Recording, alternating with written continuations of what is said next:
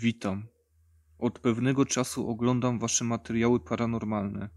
Zainteresowały mnie głównie straszne opowieści widzów, a jako, że jestem jednym z nich, chciałbym opowiedzieć także o swojej historii, która przytrafiła mi się tak jak większości, kiedy byłem dzieckiem, a więc od początku. Nazywam się Adam i mam już swoje lata na karku. Moje dzieciństwo to czasy bez komputerów, zaawansowanych kamer i dyktafonów. A mimo to po tylu latach moje wspomnienia są w stanie stworzyć szczegółowy obraz historii strasznej, ale do bólu prawdziwej. Tak jak wspomniałem, byłem dzieckiem. Ojciec utrzymywał rodzinę prowadząc gospodarstwo, co w tamtych czasach było opłacalne. Ojciec specjalizował się w hodowli krów mlekodajnych. Zbiory mleka zawsze były zadowalające, a krowy nigdy nie chorowały.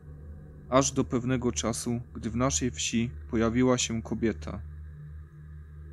Była to starsza osoba, o której nikt nic nie wiedział, a jak wiadomo, wieś to nie miasto, każdy się zna, a jeżeli nie, to bardzo szybko się poznawał.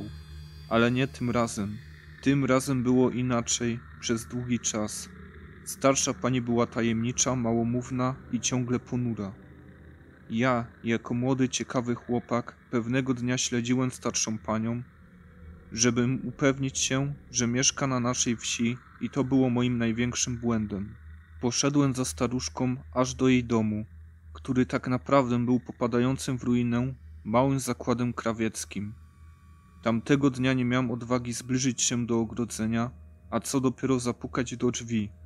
Wróciłem więc do domu i ciągle myślałem o tym miejscu, co tam jest, kto i po co przebywa w miejscu bez warunków do życia.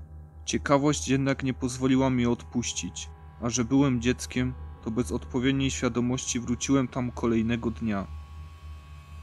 Znając już drogę, chciałem podejść bliżej okien, żeby zobaczyć co jest w środku i się udało.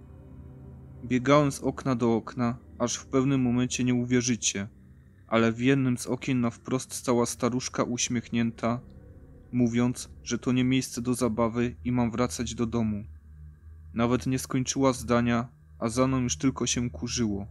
Uciekłem ze strachu, nie wiedząc, że najstraszniejsze dopiero przede mną.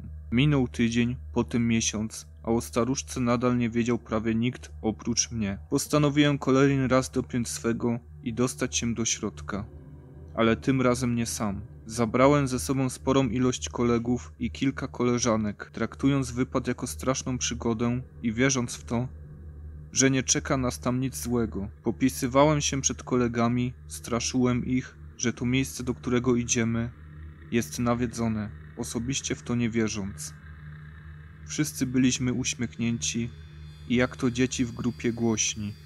Zbliżając się do opuszczonego zakładu krawieckiego, coraz bardziej atmosfera się zmieniała, a co niektórzy chcieli wracać. Jako, że to był okres młodości, koledzy i ja chcieliśmy się popisać odwagą, ale teraz już wiem, że popisaliśmy się wtedy głupotą, ale do rzeczy. Kiedy weszliśmy na teren opuszczonego zakładu, hałasowaliśmy i wykrzykiwaliśmy różne w tamtych czasach popularne hasła. Po chwili, gdy nikt nie reagował nie było nikogo widać, stwierdziliśmy, że nikogo nie ma w środku. Jak niektórzy z was pewnie się domyślają, była to nieprawda. Wchodząc do środka faktycznie nie było żywej duszy, nie było miejsca do spania, nie było wody do picia ani śladu przebywania tam kogokolwiek.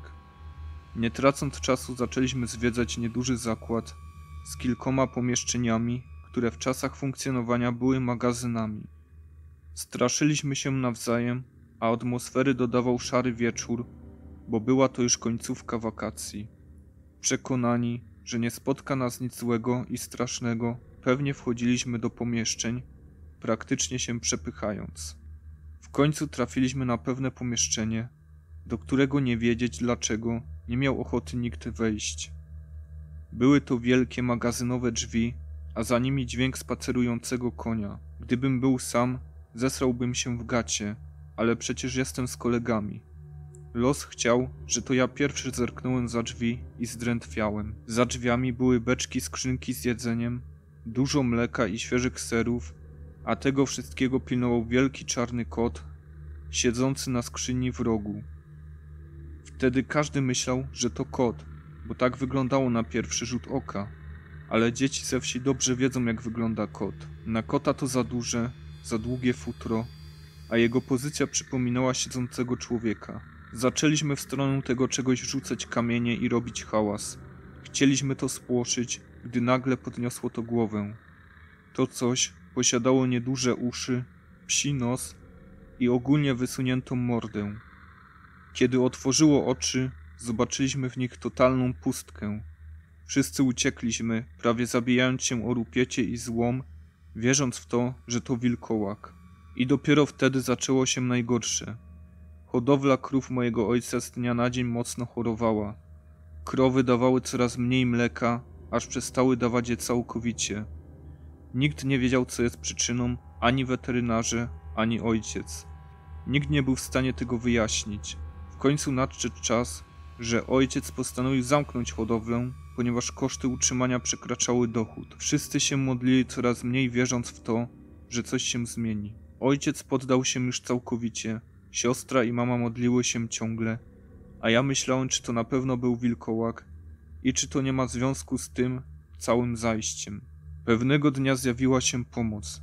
Była to osoba niewidoma, dobrze każdemu znana babcia zmarłego księdza. Kazała wydoić resztki mleka razem z krwią, bo tylko tyle dawały krowy, i wlać na rozgrzany piec, a osoba, która jest odpowiedzialna za kradzież mleka, przyjdzie sama. Nikt w to nie wierzył, a co niektórzy się śmiali.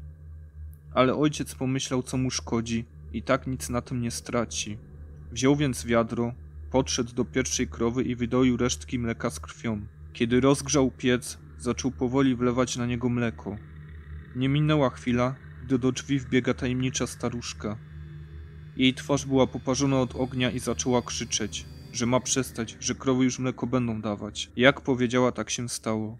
Krowy wyzdrowiały, zaczęły dawać mleko, a niewidoma staruszka dodała, że to nie był kot ani wilkołak. To, co wtedy widzieliśmy, okazało się prawdziwym diabłem.